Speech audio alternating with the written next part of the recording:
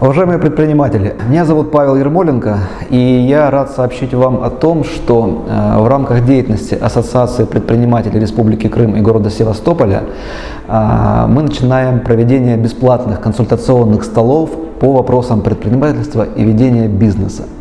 Э, если у вас есть вопросы, связанные с управлением вашим предприятием, вопросы, связанные с наймом, мотивацией персонала, управлением продажами и маркетингом, э, юридическими вопросами и вопросами налогообложения.